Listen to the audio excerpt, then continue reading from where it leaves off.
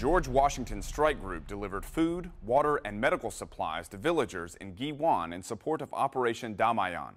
The small Philippine village was hit by Super Typhoon Haiyan, leaving residents with damaged homes and a lack of everyday necessities. The strike group worked with the Philippine government to help nearly 400 villagers, moving them to safety. Helicopters assigned to the strike group airlifted more than 3,000 gallons of water, 24,000 pounds of food, and 2,500 pounds of general supplies. The Philippine government moved George Washington's medical staff to rural health centers, where they provided medical care and supplies.